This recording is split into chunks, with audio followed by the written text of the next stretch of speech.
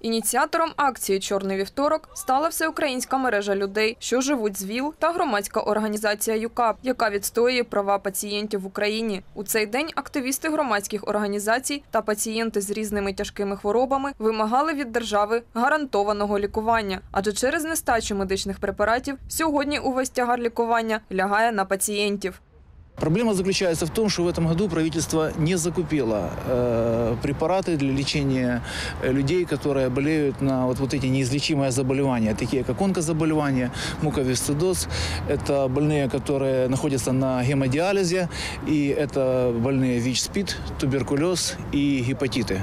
То есть все э, вот, вот эти препараты, они закупаются за деньги госбюджета и ну, по государственным программам. Э, все тендера были успешно сорваны, ну, можно так сказати.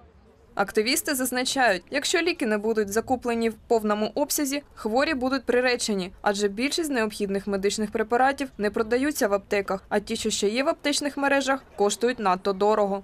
Я принимаю антиретровирусную терапию э, около 10 лет. Я один из первых, э, которые у нас в городе начали принимать терапию. Это э, терапия, которая позволяет мне на сегодняшний день вообще жить. Эти препараты не продаются, их нигде купить невозможно. Даже если и можно будет где-то купить, то они стоят такую цену, на которую ну, я, допустим, не могу купить. Я не могу себе позволить покупать их за свои деньги.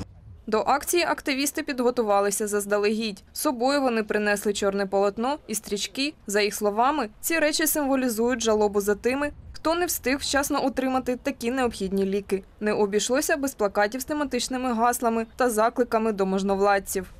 Я выступаю от лица всех пациентов, э, всем, кому нужны эти лекарства. Сколько детей, сколько людей зависит от этого всего. И поэтому мы сегодня собрались, переживая за всю Украину, и мы не будем молчать. Мы стоим здесь для того, чтобы все понимали, что это касается каждой семьи на Украине, каждого в этом городе. І Я вважаю так, що хворі на СНІД – це не баласт населення країни, а громадяни України. Вони мають право жити. А це, що твориться, То це треба розібратися, чому так. Обращаемся к правительству и к властям, от кого зависит э, просто подписание этих тендеров для того, чтобы э, продлилась жизнь наша и э, наших клиентов, потому что мы на волонтерских иногда началах просто на своих э, э, руках несем эти жизни, несем их э, просто до того момента, пока придет время уйти. Обратите на нас внимание на всех.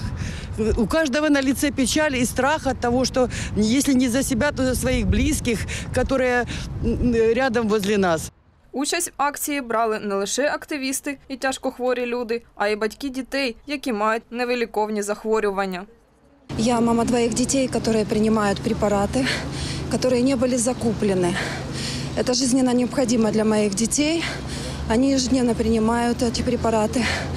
И от этого зависит их жизнь.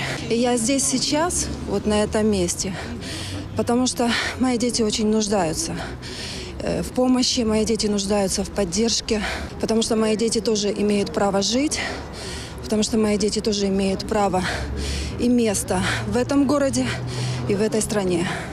Та попри існуючі негаразди, люди не втрачають надії на позитивне вирішення проблеми і вірять, що держава не залишить нужденних громадян сам на сам зі страшними хворобами.